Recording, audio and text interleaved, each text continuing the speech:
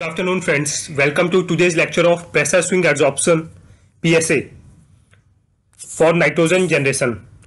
Friends आज के इस लेक्चर में बेसिकली हम ये डिस्कस करेंगे कि जो pressure swing adsorption PSA system होता है ये किस तरीके से वर्क करता है और किस तरीके से इससे बेसिकली नाइट्रोजन जनरेट किया जाता है so friends before starting today's lecture अगर आपको मेरे लेक्चर्स अच्छे लगते हैं तो मेरे चैनल को सब्सक्राइब कीजिए और जितना ज़्यादा पॉसिबल है, उतना ज़्यादा वीडियोस को लाइक कीजिए और अपने फ्रेंड्स से शेयर कीजिए।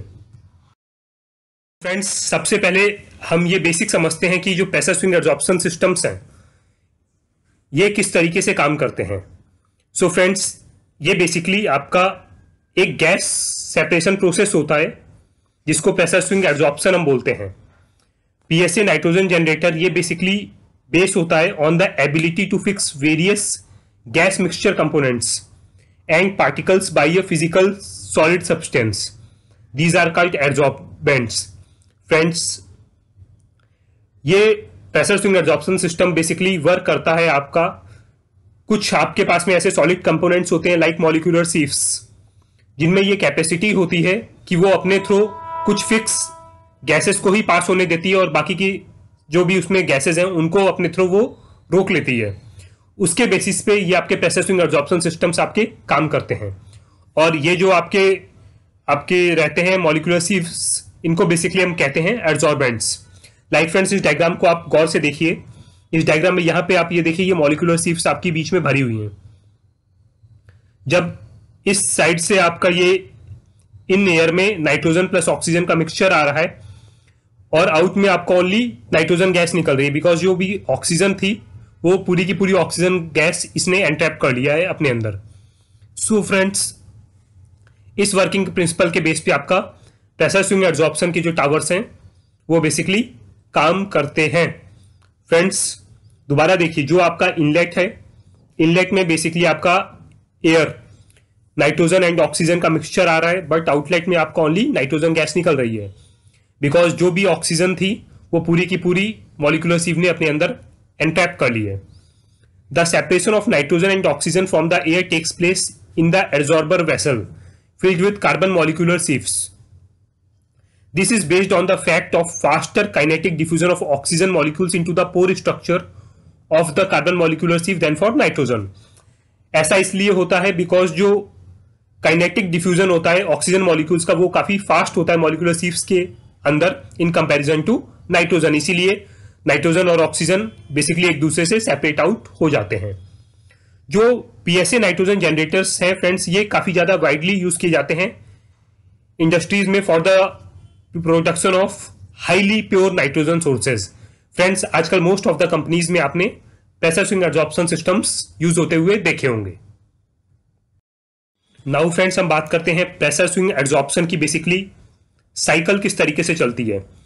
तो फ्रेंड साइकिल को समझने के लिए बेसिकली आप ये डायग्राम को गौर से देखिए। यहाँ से आपका एयर एटमॉस्फेरिक एयर आ रही है। यहाँ पे आपका कंप्रेसर लगा हुआ है। ये कंप्रेसर इस एटमॉस्फेरिक एयर को लेगा और उसको कंप्रेस करेगा।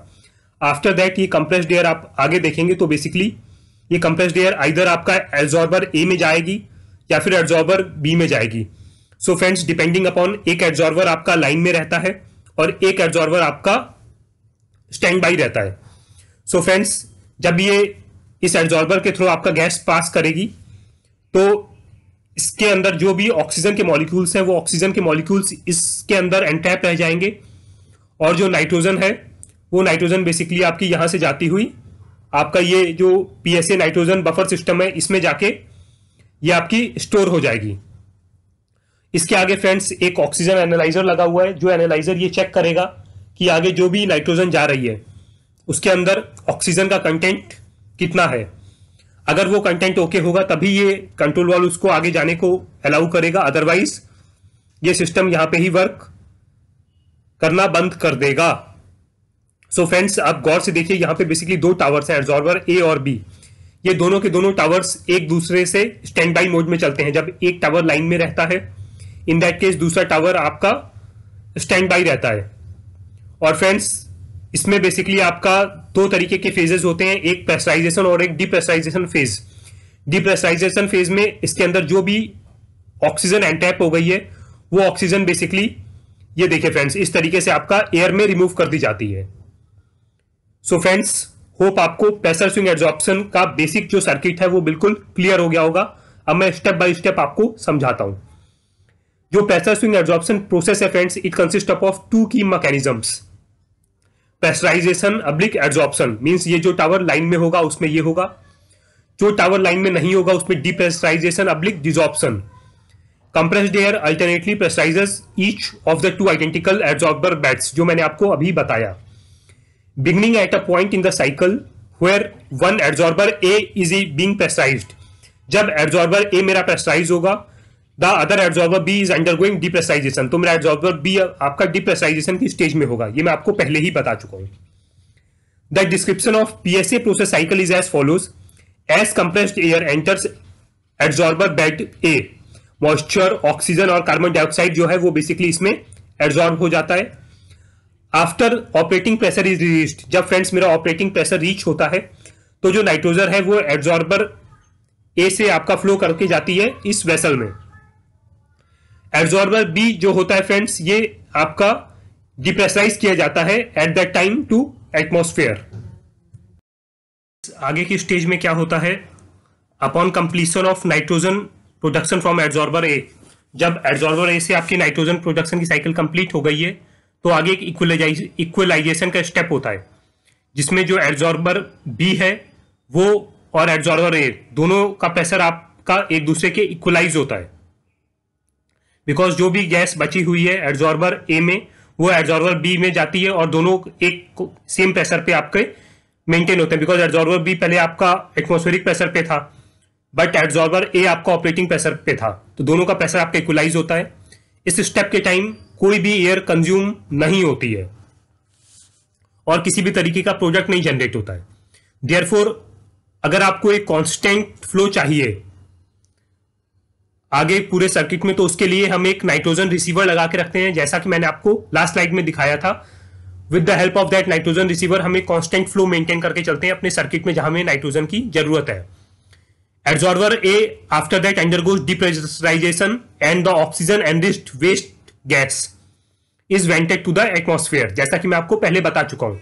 एब्जॉर्बर ए आपका डिप्रेसराइज होता है और ऑक्सीजन रिच गैस जो है वो एटमोस्फेयर में वेंट होती हैं।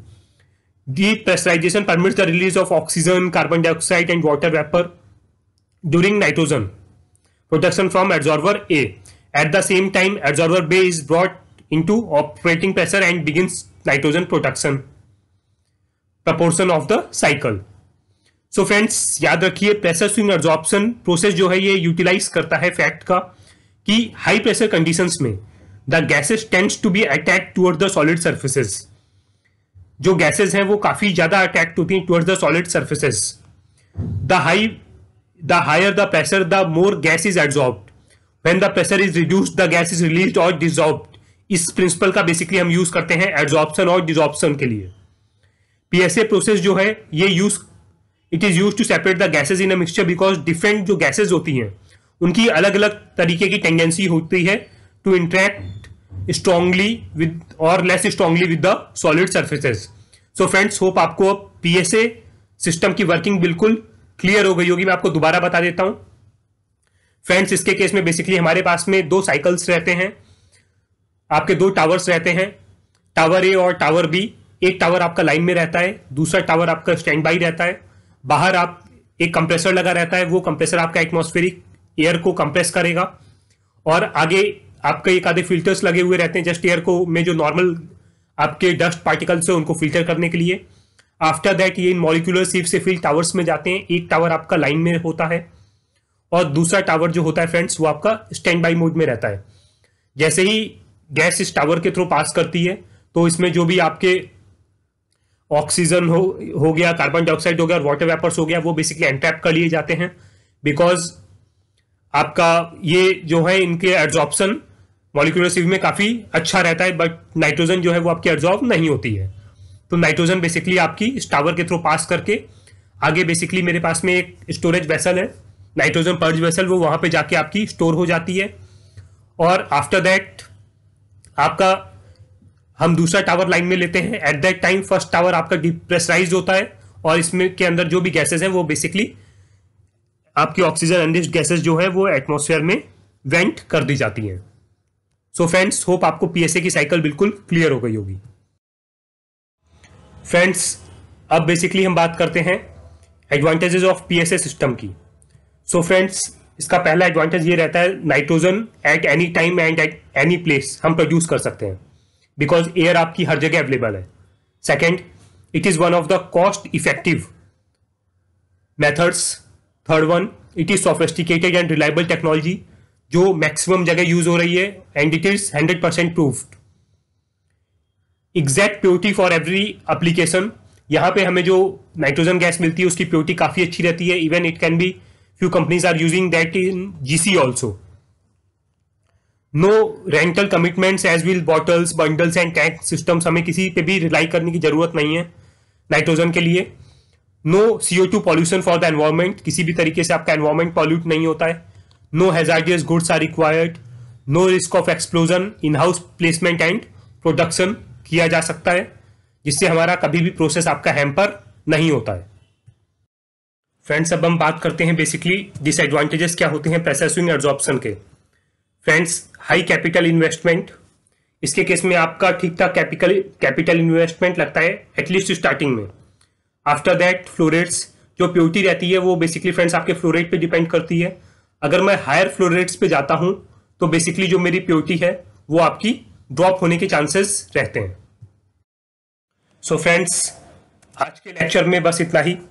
कल के लेक्चर में बेसिकली मैं आपको ये बताऊँगा कि एजिटेटर जो किसी भी रिएक्टर में एजिटेटर लगा हुआ होता है, उसकी पावर किस तरीके से कैलकुलेट की जाती है, उससे रिलेटेड कैलकुलेशंस मैं आपको बताऊँगा।